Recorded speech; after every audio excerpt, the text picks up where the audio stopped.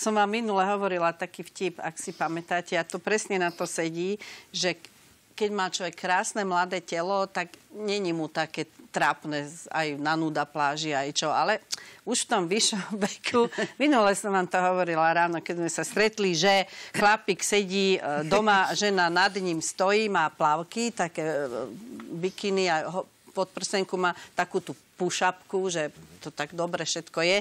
A tuto má také biele flaky pod tou podprsenkou a ten muž sa na ňu pozrie a povie, Jaj. zase si sa opalovala hore bez. No, prepačte mi, ale je, je to, je, realita je taká, hej. No, a teraz... Ale práve to no, ide o to, no. že na nuda pláži nepredvádzate svoje krásne telo, ale svoje presvedčenie. Áno, a slobodu.